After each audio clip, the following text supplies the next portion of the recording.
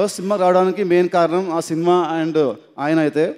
తర్వాత నెక్స్ట్ జయం సినిమా ఇంకా అప్పటికి స్టార్ట్ అవ్వలేదు. నేను హీరోగా ఓకే అవ్వలేదు. సో తేజ గారు ఫస్ట్ టైం నేను చూసి ఆఫీస్కి అన్నప్పుడు వెళ్ళినప్పుడు అక్కడ hit screen test.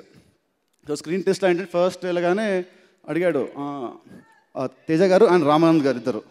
నీకు డ్యాన్స్ వచ్చా? అన్నారు. నేర్చుకున్నావు? అన్నారు. లేదు సార్ డ్యాన్స్ నేను నేర్చుకోలేదు. ఎప్పుడు నేను స్టేజ్ షోస్ చేయలేదు. నాకు రాదు సార్ అన్నాను కానీ సినిమాలు చూస్తే ఎక్కడెక్కడ కొన్ని కొన్ని మూమెంట్స్ గుర్తున్నాయి సార్ అన్నాడు. సో సార్ సరే మరి నీకేమొచ్చో సార్ డ్యాన్స్ చేయమ్మా అన్నారు.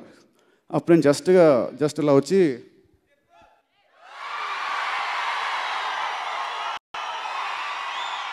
వేసాను ఈ స్టెప్స్ ఎవరు కాదు సార్ ఈ స్టెప్స్ మీవే.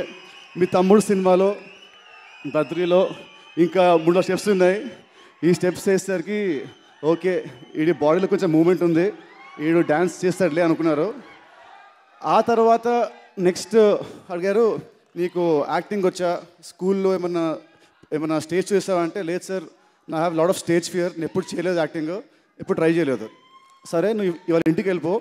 రేపు మార్నింగ్ రా వచ్చేటప్పుడు నీకు ఇష్టమైన సీన్ ఏదన్నా ఒకటి నేర్చుకొని రా అని చెప్పారు. So okay sir next day వెళ్ళాను. నెక్స్ట్ డే మార్నింగ్ వచ్చాను. ఆ సీన్ ఏంటంటే తమ్ముడు సినిమాలో ఉంది. శకుంతలా క్యా శకుంతలా క్యా సో ఆ సీన్ చేశాను.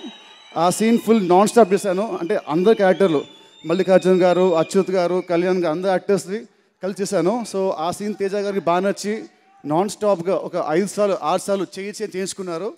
సో సార్ తెలుసో తెలియకో without you knowing without me knowing నా ఫస్ట్ నా లైఫ్లో ఫస్ట్ బ్రేక్ దాంట్లో కూడా యూ హెల్ప్ మీ లాట్ దృష్టిలో అయితే అతను ఒక వాకింగ్ డిక్షనరీ ఒక వాకింగ్ ఎన్సైక్లోపీడియా ఒక వాకింగ్ లైబ్రరీ ఒక వాకింగ్ గూగుల్ ఆయనతో ఉంటే నేను చాలా నేర్చుకున్నాను. సార్ నేను ఇవాళ పొగడట్లేదు ఫ్యాక్ట్స్ మాట్లాడుతున్నాను.